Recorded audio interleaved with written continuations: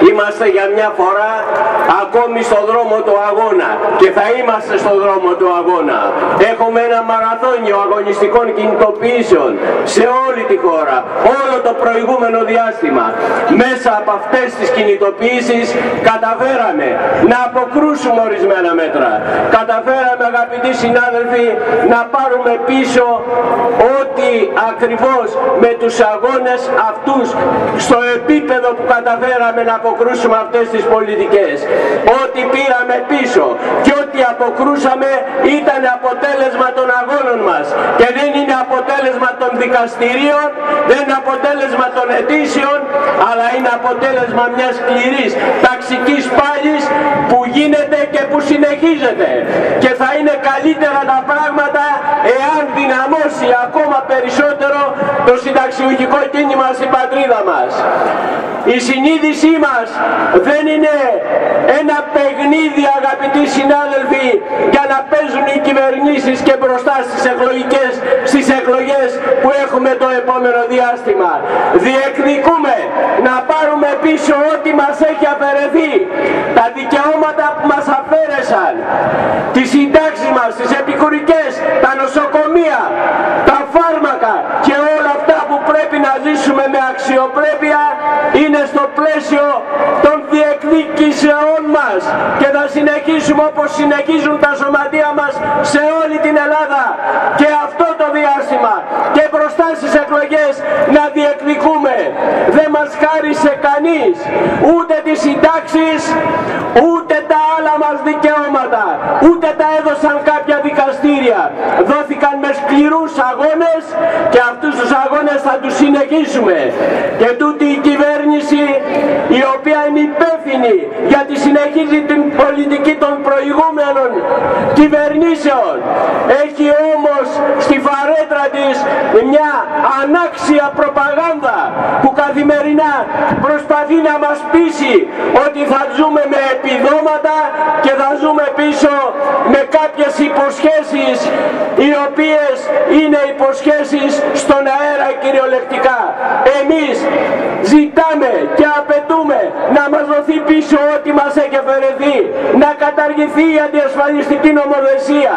Τώρα μπροστά στις, στο Πάσχα να δοθεί άμεσα η 13η σύνταξη, κανονικά σε όλους τους συνταξιούχους, όπως έχει περικοπεί και να δοθούν συνολικά οι συντάξεις μας, ε, τα δώρα στις συντάξεις μας, καθώς και όλες οι περικοπές που έχουν γίνει άδικα από όλες τις κυβερνήσεις. Συνάδελφοι, συναδέλφισες, δεν θα γίνει καλύτερη η ζωή μας εάν ακούμε καθημερινά ορισμένα μέσα μαζικής ενημέρωσης να τρέχουμε να συμπληρώνουμε αιτήσεις και να κάνουμε αγωγές που έχουν θησαυρίσει τα μεγαλοδικηγορικά γραφεία από αυτή την υπόθεση και ορισμένοι φτιάχνουν κόμματα για να τα χρηματοδοτούν οι συνταξιούχοι. Δεν θα γίνει καλύτερη η ζωή μας εάν πιστεύουμε ότι κάποιο δικαστήριο θα μας δώσει πίσω ό,τι έχει αφαιρεθεί. Τα φάρμακα που ακριβένουν, τα νοσοκομεία που κλείνουν, οι γιατροί που δεν υπάρχουν, οι συντάξεις μας που κατακρεουργούνται δεν θα δοθούν πίσω με αιτήσεις. Θα δοθούν πίσω εάν πραγματικά αγωνιστούμε και τους αντιπαλέψουμε. Αυτός είναι ο δρόμος της τιμής και του αγώνα που πρέπει να ακολουθήσουμε. Και άμεσα διεκδικούμε τώρα την κυβέρνηση να σταματήσει τους επεγμούς, να δώσει τα δώρα μας, να δώσει πίσω τις συντάξεις μας, να φέρει άμεση τροπολογία τώρα στη Βουλή που θα καταργεί τις διατάξεις του νόμου Κατρούκαλου για τη χειρία άμεσα γιατί αυτό σε λίγο εάν ισχύει θα προσθεθεί στις καινούριες συντάξεις και θα πάει η ΕΣΑΗ αυτή η υπόθεση.